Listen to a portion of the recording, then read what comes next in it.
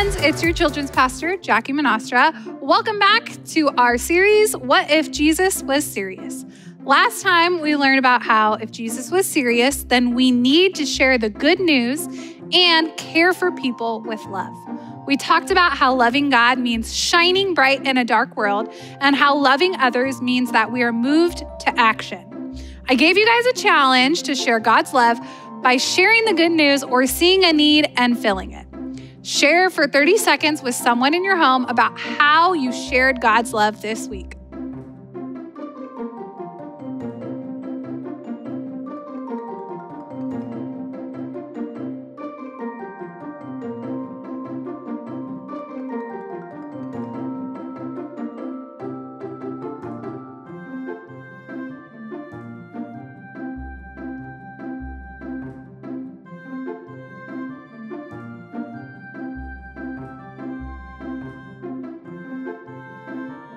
Today's big idea is this if Jesus was serious, then we will love the people who annoy us every day. But before we dive in, check out our theme verse. Then Jesus said, Come to me, all of you who are weary and carry heavy burdens, and I will give you rest. Take my yoke upon you and let me teach you because I am humble and gentle at heart, and I will give you rest for your souls. For my yoke is easy to bear, and the burden I give you is light. Matthew 11, 28 through 30. So, if Jesus was serious, then we will love the people who annoy us every day. It sounds silly, but it's true. Those people who annoy you every day need God's love too. Grab your Bibles and let's check out our verses for today. Turn to Matthew chapter 5, and we are going to look at verses 38 through 48. You have heard the law that says the punishment must match the injury an eye for an eye and a tooth for a tooth. But I say, do not resist an evil person. If someone slaps you on the right cheek, offer the other cheek also. If you are sued in court and your shirt is taken from you, give your coat too. If a soldier demands that you carry his gear for a mile, carry it for two miles. Give to those who ask and don't turn away from those who want to borrow. You have heard the law that says, Love your neighbor and hate your enemy. But I say, Love your enemies. Pray for those who persecute you. In that way, you will be acting as a true as true children of the Father in heaven. For he gives his sunlight to both the evil and the good, and he sends rain on the just and the unjust alike. If you love only those who love you, what reward is that for you? Even corrupt tax collectors do that much. If you are kind only to your friends, how are you different from anyone else? Even pagans do that. But you are to be perfect even as your Father in heaven is perfect. If Jesus was serious, then we will love the people who annoy us every day. Here are some things for you to remember.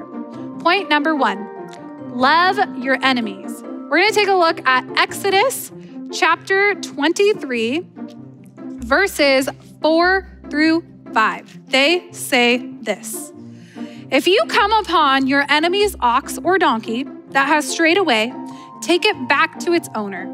If you see that the donkey of someone who hates you has collapsed under its load, do not walk by. Instead, stop and help. Now, the chances of you walking past somebody's lost horse or donkey is probably pretty small. But the chances of you walking by someone who needs your help is really, really high. If Jesus was serious, then we need to be willing to help all people even people we might not like, even people that annoy us every day. This means that you must love all people and show love to all people, even your enemies. Point number two why should we love our enemies? Well, because Jesus loved us when we were his enemies. Did you know that in Romans chapter 5, verses 6 through 11, it says this when we were utterly helpless, Christ came at just the right time and died for us sinners.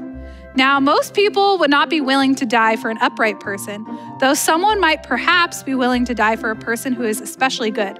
But God showed his great love for us by sending Christ to die for us while we were still sinners. And since we have been made right in God's sight by the blood of Christ, he will certainly save us from God's condemnation. For since our friendship with God was restored by the death of his son while we were still his enemy, we will certainly be saved through the life of his son. So now we can rejoice in our wonderful new relationship with God because our Lord Jesus Christ has made us friends of God.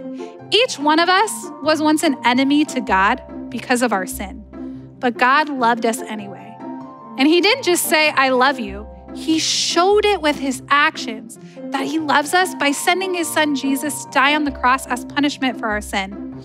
Because God loved us when we were His enemy, we surely ought to love our enemies too. So here's your challenge this week.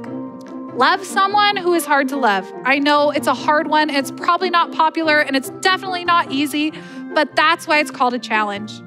Think of someone who is hard for you to love. I know that you can think of someone. Now, what is one practical way that you will show this person love this week? Think about that thing and then do that thing. Remember, God didn't just say that He loves us, He moved to action and showed us His love through Jesus. You can show love to those who annoy you this week too. All right, friends, see you next time.